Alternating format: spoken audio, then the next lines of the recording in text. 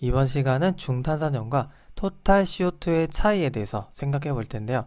보통은 중탄산염이랑 토탈 CO2가 비슷한 것 같기도 하고 다른 것 같기도 하고 고민하다가 결론은 별로 중요한 것 같지 않아 넘기는 경우가 대다수일 겁니다. 자, 제가 생각하기에도 이 둘의 차이를 아는 건 그렇게 크게 중요하진 않지만 일단 궁금하긴 하니까 해소를 하고 넘어가야 되겠죠. 보통은 응급실에서 인턴 선생님이 동맥혈을 채우려 옵니다. 그리고 이제 ABGA 분석 기기에다가 딱 꽂으면 약식으로 쫙 나오죠.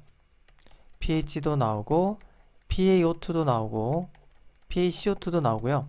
그리고 중탄산염도 나옵니다. 베이스 액세스도 나오고 등등 여러 가지가 나오는데 자 여기서 pH, PaO2, PaCO2는 바로 이 ABGA 기계가 직접 측정한 값입니다. 그런데 이 중탄산염은 직접 측정한 게 아니라 우리가 이미 측정한 것으로 계산을 해낸 값이에요. 그러면 어떻게 계산하느냐? 그 유명한 핸더슨 하셀 방식을 이용합니다. pH는 6.1 더하기 로그 짝산 짝염기 그러니까 PaCO2에다가 0.03 보통 이렇게 생각하시면 돼요. 0.03001 분의 중탄산염 자, 이 식은 알면 좋고 몰라도 상관없는 식입니다. 자, 일단 ABGA 기계가 pH, PaCO2 다 측정을 했잖아요. 여기 다 있네요. 측정 값을 다 집어넣게 되면 남는 건 하나의 미지수죠. 당연히 기계가 다 계산할 수가 있는 겁니다. 그래서 계산한 값으로 중탄산염이 나오게 되는 겁니다. 자, 그 다음에 토탈 CO2는 보통 정맥혈로 체열을 하고 전해질 패널로 나오죠. 그리고 이 토탈 CO2라고 하는 건요. 그냥 간단하게 설명드리면 물에 녹아있는 CO2도 있을 거고 또 이게 완전히 가수분해가 돼서 중탄산염으로 존재하는 형태도 있습니다. 이거를 몽땅 합친 개념이다. 그러니까 더 넓은 개념이다 라고 생각하시면 되겠죠. 자, 조금 더 우리가 심도 있게 본다면 CO2가 물을 만나면 H2CO3가 되고 결국에는 H 플러스를 만들고요. 또 중탄산염이 만들어지는 겁니다. 완전히 가수분해가 된 형태와 그냥 물에 녹아있는 형태를 다 합친 걸 토탈 CO2다 라고 하는 거죠. 자 그리고 이제 여기 식에서 알 수 있는데 보통 우리가 CO2를 산연기 파악할 때 산의 지표라고 하는 게 바로 물에 녹아서 H 플러스를 만들기 때문이고요. 보통 이 중탄산염을 염기의 지표라고 하는 게 바로 이게 짝 염기의 역할을 하는데 바로 H 플러스를 가져가서 이렇게 가는 거잖아요. 그래서 얘는 염기고 얘는 이제 산이다 라고 하는 겁니다. 자 어쨌든 토탈 CO2는 계산한 걸 포함해서 또 그냥 물에 용해된 CO2를 다 합친 개념이다 라고 생각할 수가 있는 거죠. 자 일단 중탄산염과 토탈 CO2의 차이를 알겠죠. 그러면 우리는 이걸 가지고 뭘 할 수 있을까 생각을 해보는데요.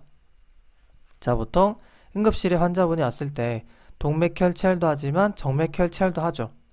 그리고 우리가 이제 산연기를 파악합니다. ABGA 분석하는 거 저랑 여러 번 공부했었죠.